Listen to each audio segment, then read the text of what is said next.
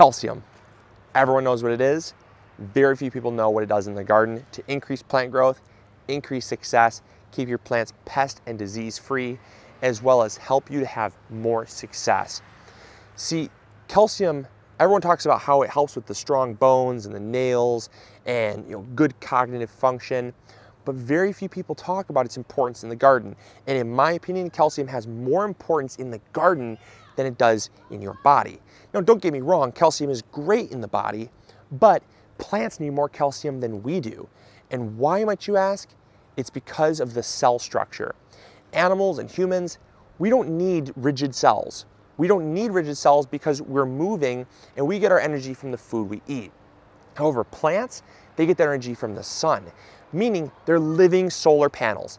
If they are not, if they're not straight out and they're drooping, they're not efficient and they cannot generate as much energy. And that means that plants that have more calcium are going to be stronger, more rigid. They're going to be able to generate more energy from the sun. And also, they're going to be stronger and thicker, meaning that pests can't uh, penetrate the leaves with their small teeth, things like whiteflies and aphids, won't bother your plants nearly as much. See, calcium is actually a growth regulator. Scientists in the 60s started studying the, the benefits of calcium on plants because calcium they found was, uh, was abundant in certain soils and lacking in others. And they found that in soil where they, they fertilized exactly the same with nitrogen, phosphorus, potassium, all other minerals, but the calcium was the only thing they didn't add or supplement, they found that the, that the growth was increased up to 300%. And that is because calcium is the structure of the cell. This could be the most important thing you hear in your garden all year. And that is because calcium is lacking in so many people's garden. Calcium is a naturally occurring element found in all living things. However, it does become depleted over time. If you're not readily giving your plant all forms of calcium, that means fast acting and slow release, your plants are going to be deficient at some point in time. Calcium can be found in things like compost, worm castings, lime, gypsum, eggshells, even things like milk.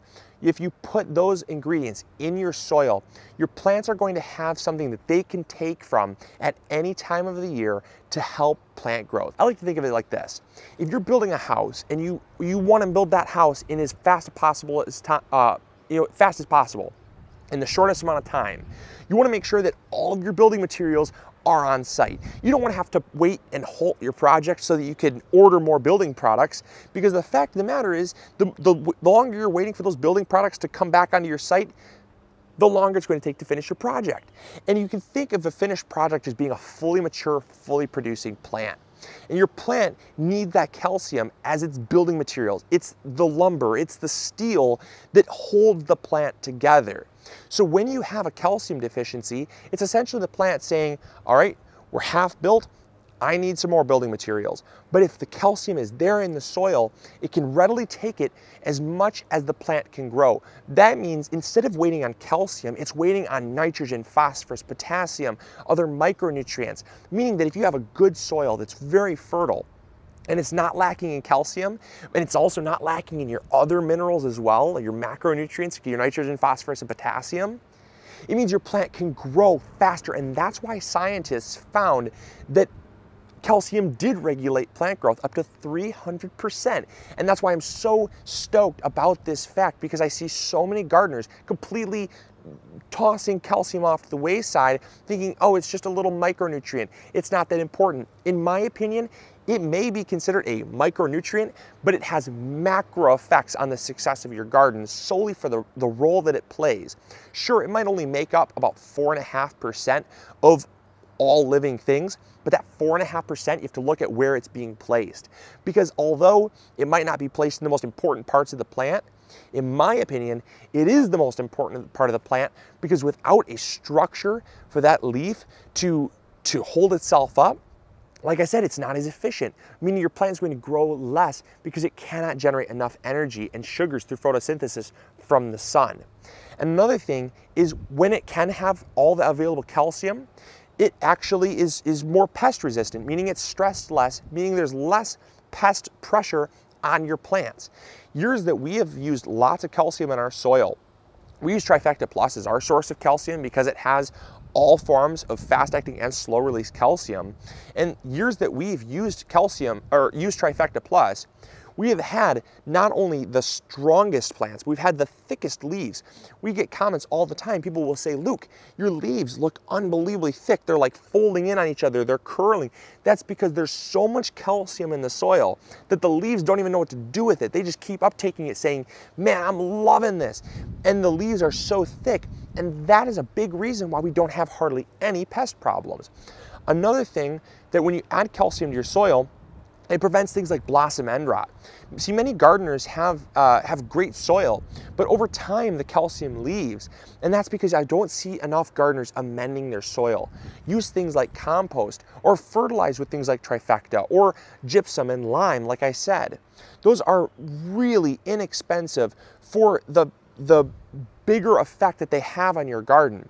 They're so uh, nominal in cost, and yet they can save you hundreds of dollars in hassle in, in fertilizing because a lot of times you don't always have macronutrient deficiencies. It's calcium deficiencies that slow your plant down. And people say, well, hold on, I must have a nitrogen deficiency because my plant's not growing as fast.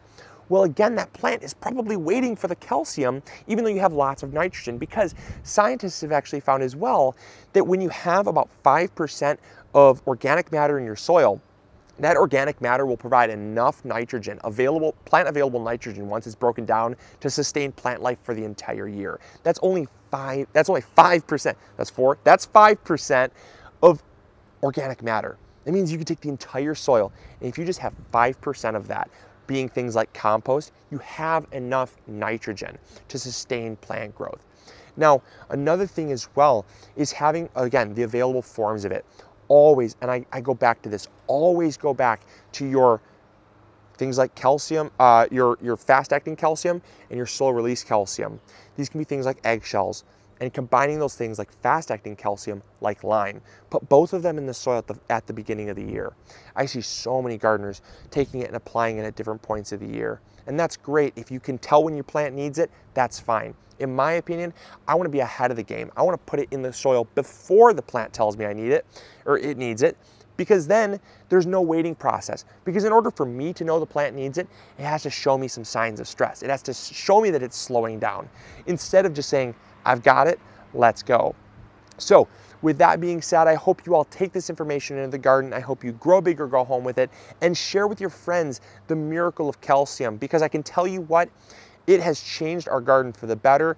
It has been a realization that even though it's such a simple realization, it has made all the difference. And I can safely say that calcium is one of the most important, in my opinion, elements in the entire garden. And that might vary based on the source you, you, know, you talk to, but me, I've, see the, I've seen the results, I've read the studies, I can tell you that it is not a joke. And if you want a healthier, uh, a happier garden, a healthier garden, a more pest-free garden, one that is fast growing and quick to mature to provide food for your family, do not exclude calcium. And I, one thing I want to end on is that you don't have to worry with calcium. Unless you're adding things like lime that can lower the pH, or I guess raise the pH, you want to make sure that you do not make the soil too alkaline. That can affect plants negatively as well. And that's why if you add a little bit of it, make sure you're adding other things like gypsum or eggshells that can, you know, the plants can take up that calcium from the lime right away, but don't add too much of it. Any other form of calcium is great. In fact, that's why gypsum is one of my favorite forms of calcium because it's not only plant available, but it does not affect pH at all. You can add tons of calcium, uh, tons of gypsum to your soil. It will provide tons of calcium. And to be honest, you can provide up to 10% of your, uh, of your fertilizing being just calcium source and your plants will not care. Try that with things like nitrogen, try that with things like, like uh, phosphorus or potassium it can actually burn your plant if you have things that high in nutrients. Whereas with calcium, because it's a because it is a very stable element that doesn't have uh, you know, over enriching properties like nitrogen does. If it's too rich in nitrogen, you can burn your plants. Without you know with calcium loaded on and the plant will simply take it when it needs it. And so also a final thing is that calcium, uh, you know, it does take a while to break down. And that's why I suggest to put it in the beginning because, you know, if you put eggshells on in the garden, a lot of times they won't be plant available until late summer or even next year. Sometimes they take around two years to break down. So just keep that in mind. Grow big or go home with this information. I hope you all enjoyed. I hope you learned something new. And as always, this is Luke from the MIgardener channel reminding you to grow big or go home. Like this video if you found it helpful and share it with your friends because that always helps us grow big as well. All right, hey, we'll talk to you all later. This is Luke from the MIgardener channel reminding you to grow big or go home. See ya.